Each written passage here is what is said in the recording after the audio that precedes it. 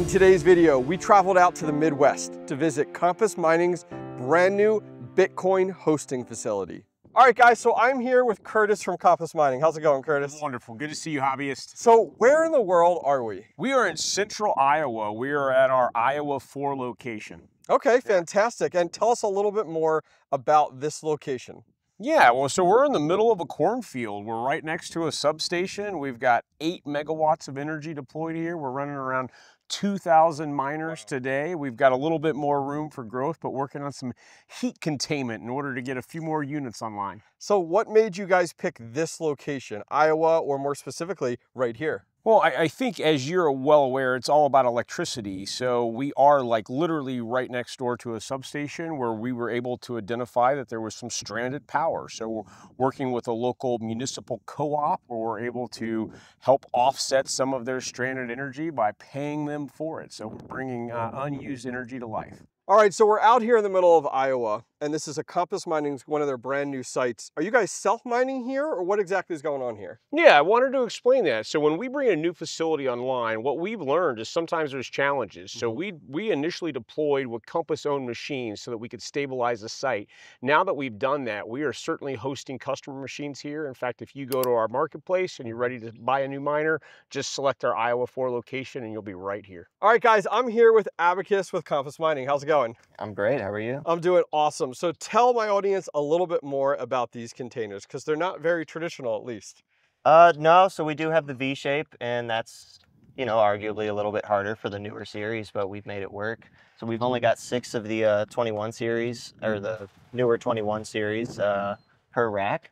And uh, we just kind of keep them as close to center as possible so that we don't have to deal with the point of the V's and how close together they would otherwise be. Nice. So um, you guys have four containers total on site. Mm-hmm. And uh, how many megawatts per container? Uh, we're uh, at peak two megawatts per container. Okay. Uh, we're trying to keep it a little bit under that because we smart.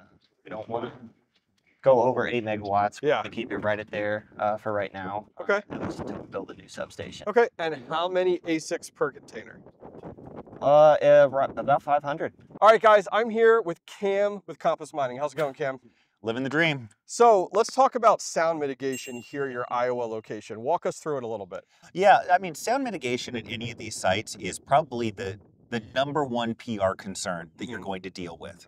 Um, the sound of mining is shocking to the uninitiated. And so um, it's something that can create some public relations issues. And so you want to be right on top of it as much as possible. And so, first of all, setting up a site so you're far away from the neighbors, so you don't have anybody living right next to the site. The middle of nowhere, pretty much. Preferably, yep. preferably. Yep. Um, and we do have some neighbors, mm-hmm. quarter mile away, half mile away. And so um, we have in the process of getting some mitigating foam for the fencing to kind of knock down the sound just a little bit. But we've actually in the meantime, actually thrown up hay bales. Um, so mm-hmm. happy the local community is happy to supply those to us yep. for a price, of yep. course. Um, but anything that you can do to just break up the sound so you can cut out the line of sight that anybody has. Yeah, I think it's smart and, and wise of Compass Mining to kind of take responsibility and get ahead of this a little bit, not only with the sound test that you guys are doing, but also, you know, these hay barrels that you talked about that you guys are putting throughout the facility it actually fits kind of the landscape out here, right? And I'll be honest, when I rolled up, I was like, what what are they doing here? What's kind of going on? Uh, and then you educated me on it, and and I couldn't believe of like you guys were using these for this purpose. So let's take a closer look and do a test with these. Okay. All right, so a quick test on just how effective these hay bales are. So right now we're on the farm side, the mining farm side. You can see the containers back here. And I'm gonna go ahead and turn off the noise cancellation. And then we're gonna go ahead and go on the other side of the hay bale. So check this out. All right, so now let's go on the other side of the hay bales and you guys will slowly hear the farm disappear behind us. Can you hear it? You can barely hear it. It's wild how effective these are at dampening the sound from the mining farm. All right, I'm here with Dylan with Compass Mining. How's it going? It's going good. How are you? Good. So tell me a little bit more about the power here at the site. What size site is this right now? So this is an 8 megawatt site. We have four 2 megawatt containers, and we're using a 2.5 megawatt transformer for each container.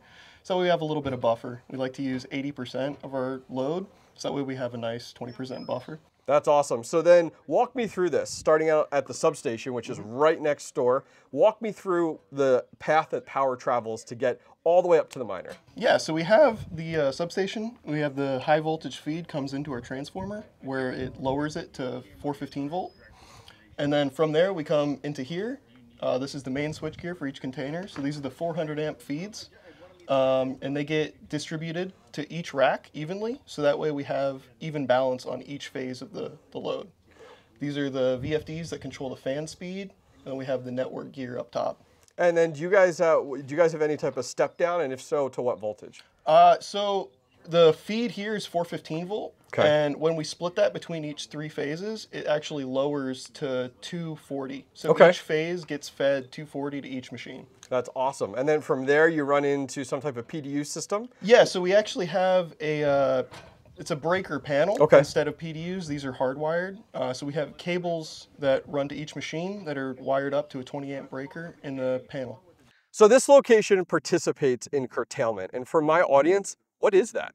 So curtailment is where you will actually power down a site. Okay. And so we will not be consuming any power. And what happens is that, that power gets returned to the grid.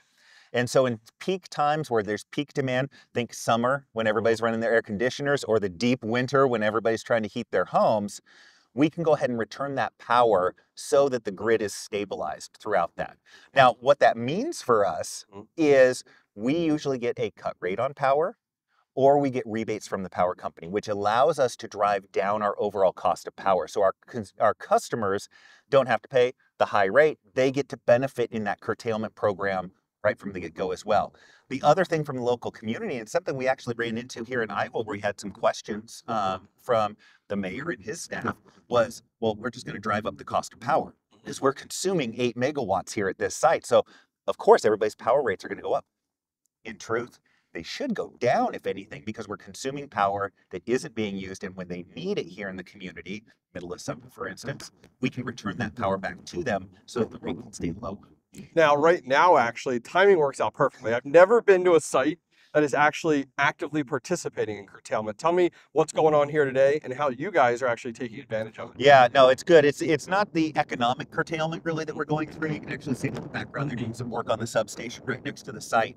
But when they curtail like this and we have advance notice like we did, we're going to do maintenance on the containers. So we'll be able to get into the hot aisles today, do some containment, um, you know, seal up some cracks, make sure the airflow is working right, and get some other maintenance as far as fans done.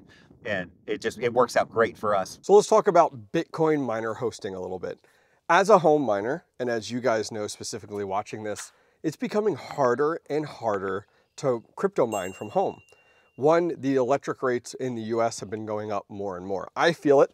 I stopped running some of my bigger units at home because of that challenge. So a lot of people in the industry, including myself, has started to rely on hosting. I actually have seven units hosted with Compass Mining at their Nebraska facility, and it works out great. The process is very simple. You buy an ASIC miner, you go ahead and have it hosted at their location. At the end of every month, they go ahead and bill you an invoice and you pay for the electric that you've used. It's simple and easy. And oh, what's the reward? I get crypto right into my crypto wallet at the end of every day. Simple and easy. I highly recommend you guys looking into it because crypto mining seems like it's so unobtainable. It seems like it's so far out of reach when it really isn't. So this is a brand new location for Compass Mining. What's the plans for the future here? Well, we were able to come online with eight megawatts. We needed to get energized with that. And then we did a load study with local utility company, and we were able to determine that there's 20 megawatts of additional capacity. So we're going to be building a substation right here on our property, expanding to 28 megawatts total. So huge shout out to the team over at Compass Mining for inviting me out to their Iowa facility. It's mm-hmm. been super educational to learn more about curtailment, learning how they take advantage of that time period and what really happens and what that process is like. Listen, if you guys are interested in Bitcoin mining, maybe you want to buy your first miner and do a nice little proof of concept to test it out, or you're looking to do 10, 20, 30, 100, feel free to reach out to the team at Compass Mining. I'm going to leave a link directly down below to a direct contact over at Compass Mining. Other than that, guys, have a good day and happy mining.